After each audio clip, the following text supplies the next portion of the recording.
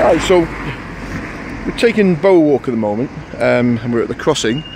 So this is how we can walk the dog if you've got a big dog. With it out there like that, out of control.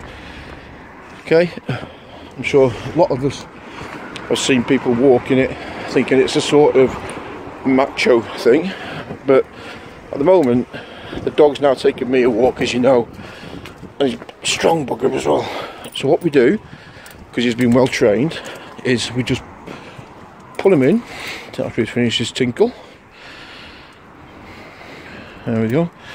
Okay, still in control now. So if anyone comes out of a house or any other animal or something like that, he'll chase it and he'll take me with him because he's 60k and he's a, he's a strong boy. So what we do is we heel, pull him in like this and there you go.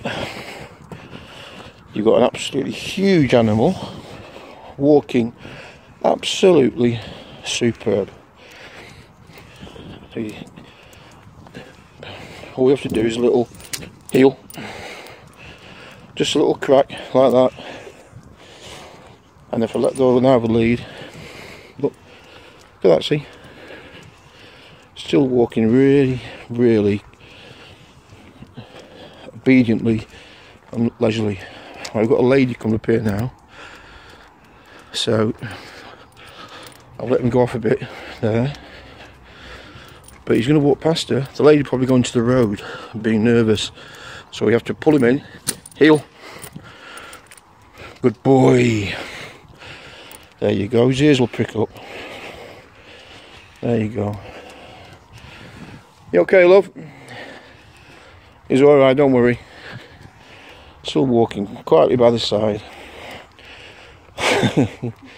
Good boy. Say hello. There you go. and off we go again.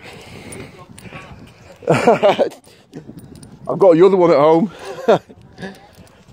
so there we go again.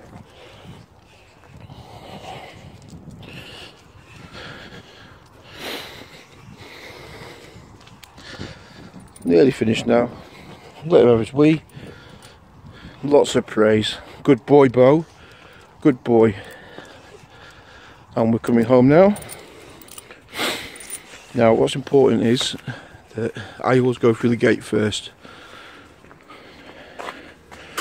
It's a pack situation, and he'll let me go through the gate. There you go. Good boy. Come on, son.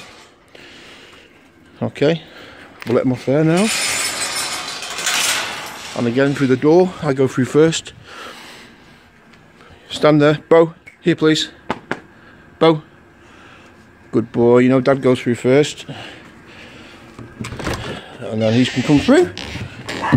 And there we go